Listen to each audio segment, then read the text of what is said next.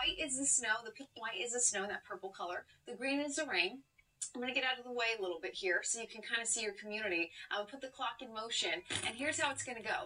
The way that this is going to most of this morning, 6 a.m. on to 7, 8, 9 o'clock, not a lot going on at all. A couple of spotty showers in Avalon, and then right about 10, we start to see some rain develop in the Inland Empire, Orange County, uh, foothill communities of our mountains, and then it becomes more widespread just after noon. And now it's really in Orange County. Now it's into, well, not really quite in Ventura. You'll get a little bit of something out there, but not a whole lot. So noticing Malibu, you have a better opportunity. Uh, Los Angeles, you have a good opportunity. Northern sections of Los Angeles, the high desert, really not seeing a whole lot.